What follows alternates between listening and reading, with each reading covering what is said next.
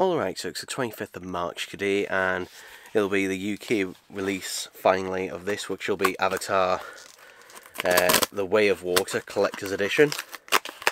Which, um, yeah, took a while to release.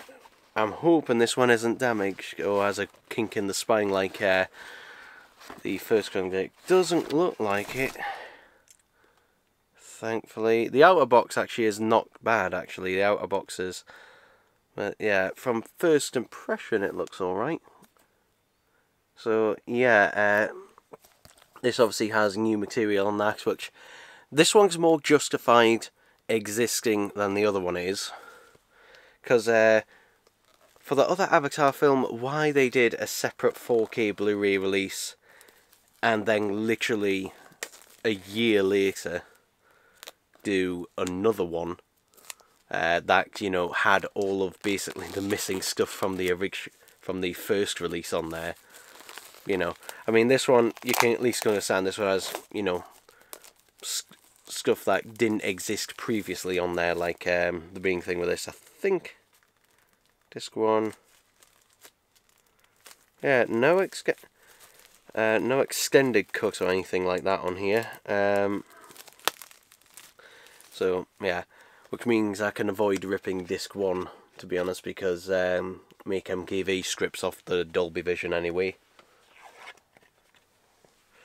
There we go, get, get a nice card there which thankfully isn't uh, glued to the thing and it is actually made of card. So yeah, the new stuff on here is uh, new characters of Pandora and that and I think everything basically on uh, disc 4. So, yeah. But looking at it now, yeah, it's slightly nipped together a bit. It's the artwork and that on the back. It does feel collectory, if that's the right word for it. So yeah, this is a little bit, I can wind it out a little bit more there. So this one seems to be alright, I don't know. We'll open it up see if there's a... No, it looks alright this one. So yeah, this one seems to have arrived okay. Compared to the previous. Ooh, here we go.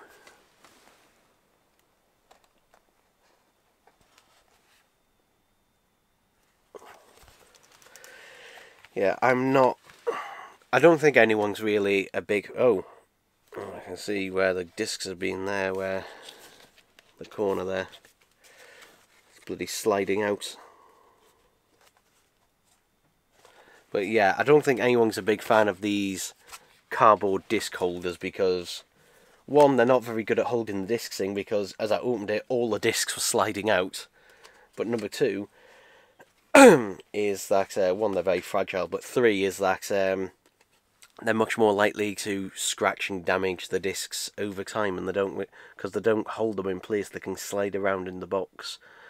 So yeah there's disc one which the only difference between this one and the previous release in terms of the first disc is that on this one uh, you're getting Dolby Vision. Hooray! So yeah So now there's no excuse for all future Disney 4K releases to have Dolby Vision on there since they've paid the license for it because uh, James Cameron insisted that it have Dolby Vision.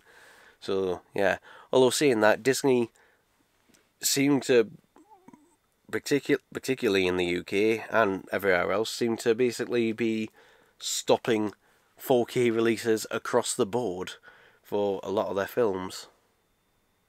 Disc 2, which is again same thing, just the Blu-ray.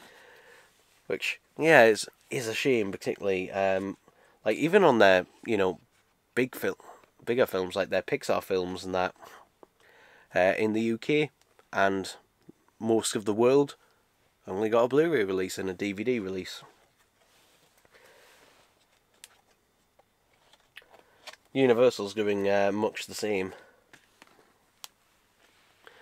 So disc 3 there is the bonus scuff, which I believe again this is a, the bonus scuff on here, I believe this disc is exactly the same as uh, the previous release in terms of bonus content because it doesn't mention anything new on that disc.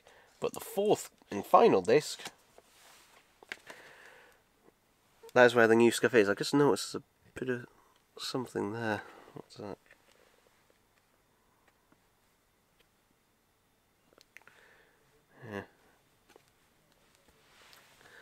So this is the fourth and final disc, which has the new bonus content on there.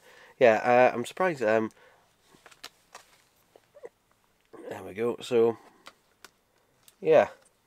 I guess the other is worth it in that as well. But uh, basically, if you don't own either films and are considering it, then obviously the collector's editions are generally the ones to go for. And that's because, you know, even if you're just going for the Blu-ray, you know, this has more, way more content than the Blu-ray release. In fact, uh, I think the standard Blu-ray release is very bare bones, if I remember rightly. Can't remember actually off the top of my head. I think the DVD of this actually doesn't have any special features whatsoever. I don't think so. Can't quite. To be honest, I, I don't really know. Can't remember. But uh, yeah, there, there we go. There's the two Avatar films and that. And you know, while these both of these films are flawed, and that both of them are, and that's like um, you know once every blue moon when I put when I put them on for example um, it had been years since I'd seen the first Avatar uh, which I watched uh, just before seeing this one in an IMAX when I watched it you know it it still looks incredible to this day. And um, at some point you know when I decide to go back to it when in you know 10 years time or however long it is before the next film you know I'll probably go back and watch these and um, on a fo uh, a fo on a 4K OLED TV with uh, Dolby Vision. You know I mean the Blu-ray of the first film from 2010 2000 2010 version uh, that one looked amazing the 4K discs and that with Dolby Vision and that the remasters should look amazing, and that as well. Um, yeah, James Cameron can be a bit, bit of a hmm, mixed bag when it comes to the 4K releases, particularly. Uh, these ones should be alright because they're the newer ones, so I doubt there'll be. I doubt there'll be very much difference between them. Um, I'll be interested to know the frame rate because uh, some people have said, if someone could clarify this, because uh, some people have said that these are meant to be the 60 frames per second uh, versions, which is interesting. Um, because uh, in the cinema itself, if you went to a particular cinema, the refresh rate was actually variable between.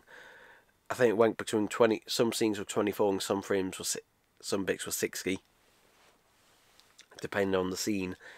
Uh, but apparently for these 4K releases, uh, they're meant to be running at 60 frames per second. That's something I've heard. I can't confirm it or not, um, mainly because, essentially, uh, when I rip them, MakeMKV doesn't seem to support uh, 60 frames per second in that. Uh, when it comes to 4K Blu-rays, it just seems to be at 24. So, if someone could let me know, because um, obviously when I put it in a in my 4K Blu-ray player, it will play it at like 60 frames a second. And if it is, it would explain why, because these take forever to convert uh, in Handbrake to, uh, you know, something more manageable. So, yeah, but, um, yeah, there, there we go. There we go, people. And, um, if it is the case that they are actually at 60 frames per second, then, um, people like me, MKV, please update it so you know it supports uh, 60 frames a second and that so you know the rip the 4K rips I do of them will be at that but I will say though if they are though I hope it is consistent uh, consistently 60 frames a second throughout because it can be very jarring going between like 24 then suddenly 60 then back you know constantly going back and forth which yeah is a bit odd but there we go people there we go